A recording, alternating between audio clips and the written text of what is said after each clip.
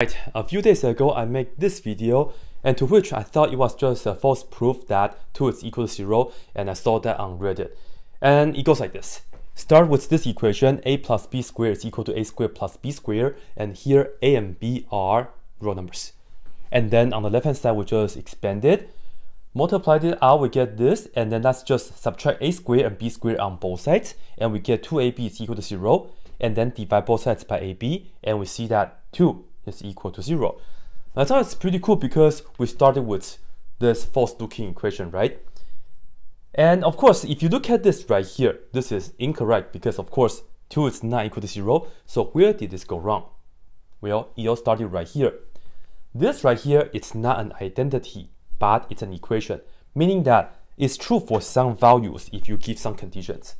So right here, I'll just tell you this right here is true if a equals 0 or b equal to 0. Of course, you can plug it in and you can verify that. Either case though, you see right here, we have a times b on the bottom. So this is bad because we are dividing by 0. So this right here is not correct. Well, I thought that was it, but thanks to ovens3517, thanks for your comment. You pointed out that the proof is not to show 2 is equal to 0, but is to show this is not equal to that. And the original post just didn't specify that a and b is not equal to 0. So what do we mean? Let me show you right here. So I don't know, uh, let's put this down right here. Right? So the idea is that we actually want to show, we want to show that a plus b squared is not equal to a squared plus b squared. This is what I want, what we want to show. And it makes a lot more sense now because the title says what? Proof by contradiction. And this is a not statement. Yeah, I just saw this right here from the picture. So let's see if you guys agree with the following or not. One thing to mention though, the original post, if he didn't, if he or she did, uh, wanted to show this right here, you had to say this is not true for let's say I'll just say for non-zero a and b. So a is not equal to zero and b is not equal to zero. Right? And of course, again, a and b are real numbers, so let me just not write that down. So how can we show this? This is a statement has a not, right? Usually you can try to do it with contradiction when you are trying to do a not statement. So here is the proof, right? So I'll just say by contradiction, contradiction,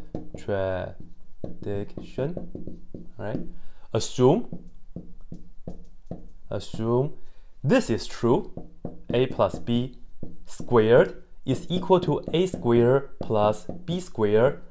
And here we also have to take this for the assumption. This is just the negation of that, and you also have to say for a not equal to zero, b not equal to zero. All right, and now you just expand this. So we do it the way that we did over there. a plus b plus times a plus b equals a squared plus b squared. And then work that out, you will get, I'm just going to write that everything again. So ab plus ab plus b squared equals a squared plus b squared. And then that's just minus a squared minus b squared on both sides b squared on both sides, cancel, cancel, cancel, cancel. And this right here, you have 2ab equal to 0. Aha, here's the deal. You see that we have 2 times a times b is equal to 0. And because we said that a is not equal to 0 and b is also not equal to 0, so that means what? That means we can now legitimately divide by a and b.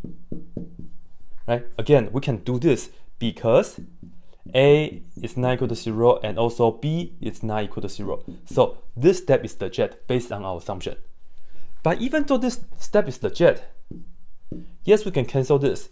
The end result is not legit because on the left hand side we get 2 and then on the right hand side 0 divided by a non-zero number we get 0. This is horribly wrong because 2 is not equal to 0. So this is where we get the contradiction. So if we have a contradiction, that means our original assumption here is wrong, meaning that the statement that we want to show is actually true. This is not equal to that. I feel it's like a logical circle, but this is what happens if you do like contradiction proof. It's a lot of fun though, actually. But yeah, so my mistake on this, I thought it was a proof for 2 is equal to 0. Um, but if you really wanted to make it a 2 is equal to 0 proof, I think this is also legitimate. Anyway though, yeah, that's it.